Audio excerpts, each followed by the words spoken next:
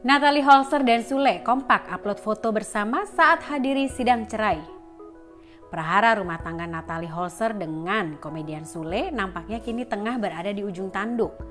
Hal tersebut terungkap saat Natalie mendadak melayangkan gugatan cerai untuk Sule melalui Pengadilan Agama Cikarang. Kabarnya, layangan gugatan cerai Natalie Holzer ke Sule tersebut diterima hingga gelar sidang cerai perdana pada Rabu 20 Juli 2022. Sule dan Natali kompak menghadiri sidang cerai perdana pada hari Rabu 20 Juli 2022 di Pengadilan Agama Cikarang. Keduanya juga tidak sungkan berfoto bersama dan membagikannya ke Instagram story masing-masing.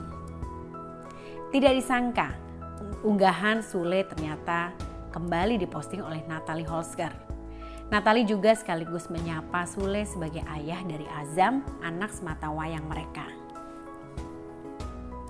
Halo Ayah Azam, begitulah Natalie Holzer menuliskannya pada Instagram story-nya. Menjelang sidang, Natalie datang terlebih dulu di Pengadilan Agama Cikarang. Ia mengaku bisa menjalani agenda mediasi. Setelah Natalie tiba di Pengadilan Agama Cikarang, Sule akhirnya pun datang. Ia mengaku siap menjalani sidang cerai.